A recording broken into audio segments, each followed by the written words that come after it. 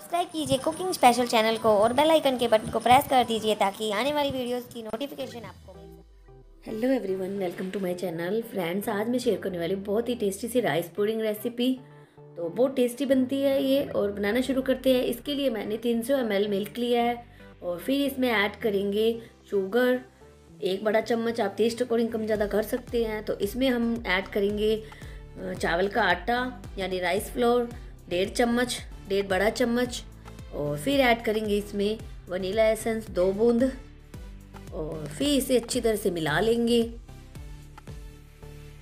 और इसे अच्छी तरह से मिक्स कर लेंगे। कोई लम्स नहीं रहने चाहिए और अच्छी तरह से मिक्स करने के बाद एक कढ़ाई या पैन लेंगे। उसमें हम इस मिक्सचर को ऐड करेंगे और इसे चलाते रहेंगे और पकाते रहेंगे।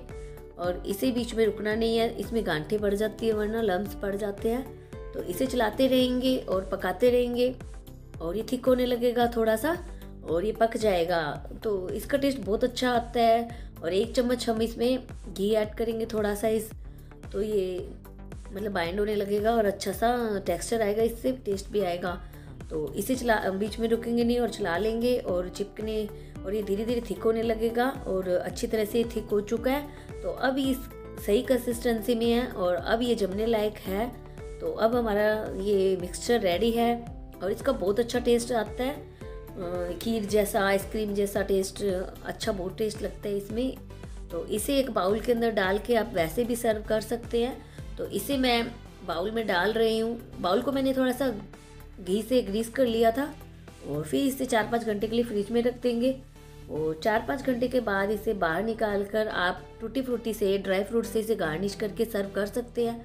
अगर आप बच्चों के लिए बना रहे हैं तो थोड़ा सा और थोड़ा सा इसे और टेस्टी बना सकते हैं। इसे गार्निश करेंगे मेल्टेड चॉकलेट से, या चॉकलेट सिरप से भी आप गार्निश कर सकते हैं। तो इसे मैं मेल्ट की हुई चॉकलेट से इसे गार्निश कर रही हूँ, और ये खाने में बहुत टेस्टी लगता है। इसका टेस्ट आइसक्रीम जैसा आता है, और खीर जैसा टेस्ट लगता है, और थोड़ा सा टूटी फ्रूटी और कुछ गार्निश कर रही हूँ मैं।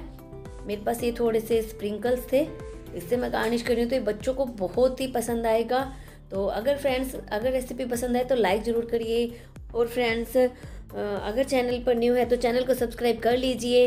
और मेरे चैनल पर आपको अच्छी अच्छी सी रेसिपीज़ आप देख सकते हैं और बेल आइकन के बटन को प्रेस कर दीजिए ताकि आने वाली वीडियो की नोटिफिकेशन आपको मिल सके। और फिर मिलेंगे एक अच्छी सी टेस्टी सी रेसिपी के साथ। Take care thanks for watching